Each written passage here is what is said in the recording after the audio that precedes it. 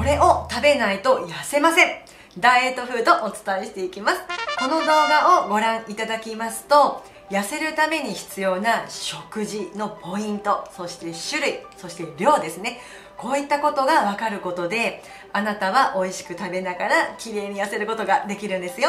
それでは早速本題に入ってまいりましょう。痩せるポイントはタンパク質を摂ることなんですね。その理由はタンパク質が痩せる、ま、鍵となっているからなんです。例えば太るからといってお肉を食べるのをやめてみたりそしてまたお野菜ばっかり食べている。こういった方というのは決して長期的に痩せることができないんですね。その先には必ずリバウンドが待っているんです。なのでポイントはいかにこのタンパク質をしっかりとることができるかどうかが痩せる鍵となるんですよ。それではその痩せる鍵となるタンパク質その痩せる理由についてお伝えしていきますね。まずタンパク質を召し上がるとですね脂肪になりにくい、まあ、イコール太りにくい食べ物になっているんですもともとですね。そうしますとそのエネルギーとして消費されて、まあ、たとえ余ってしまったそのタンパク質というのはもう尿中にもうどんどん出ていってしまいますからもうこの脂肪にはもうほとんどまならないということに今なるんですよね。でまたタンパク質を取ることであなたの食欲を抑えることができるんです。でまた食後の満腹感も他の食べ物と違ってもうとにかくその腹持ちが良いというのがこのタンパク質になるんですよ。そして逆にこのタンパク質が不足してしまうと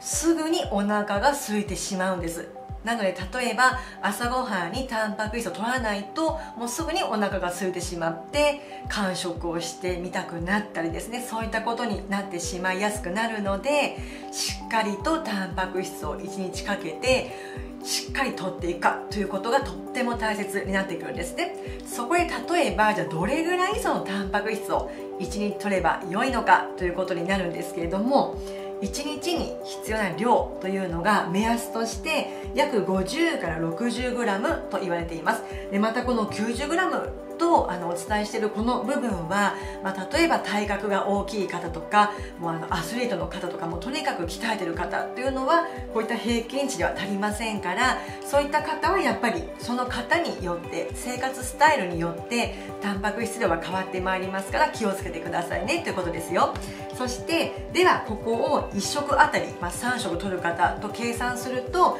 だいたい朝昼晩の1食あたり20から 30g のタンパク質を取れるといいですよということになります。ここまで取れるとあなたはしっかりと必要なタンパク質が取れて結果痩せることができるんです。では1日かけて取るタンパク質量はだいたい目安お分かりになりましたね。でもグラム数で言われてもなかなかピンときませんよね。1回1回測るのも大変です。そこであなたに今から目安としてタンパク質を1日1食どれぐらいの量を取っていけばよいのかまたその組み合わせを今から具体的にお伝えしていきますね。まず動物性のタンパク質からいきましょう。目安はお肉の場合 100g でこの 100g 中に入っているタンパク質量が16から 20g となりますからだいたいマックス 20g1 食取ろうかなと思えばお肉を 100g 取ってしまえばもうバッチリなわけですよね。でこの 100g というのはだいたい手のひらの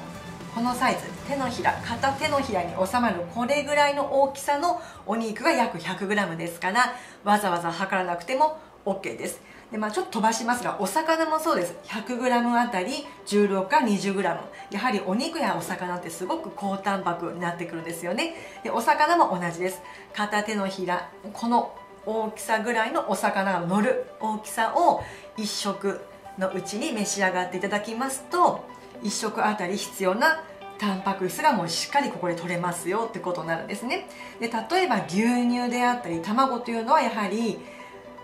これだけでは単品では足りないんですよね。例えば牛乳でしたら 200ml、まあ、コップ1杯程度です。このコップ1杯程度に含まれているタンパク質量が6から 7g なので牛乳だけだと全然足りないということになりますしまた卵もそうですね。1個あたり約 7g ですから牛乳と卵を足すだけでもまだ 14g 程度、まあ、15g 程度です。あともうちょっともう一品欲しいなっていうのがここでお分かりになると思います。そして次です。植物性のタンパク質になります。こちら例えばま代表的なお豆腐ですよね。大豆タンパクです。3分の1丁が約 100g なんですけれどもこれでだいたい6から 7g なのでやはりお肉やお魚と比べると同じグラム数でもタンパク質量は少なめということになるんですね。でまた豆乳です。200ml あたり6から 7g ここはま牛乳とほぼ一緒ですからできればその動物性の牛乳よりは植物性の方がまカロリーや脂質が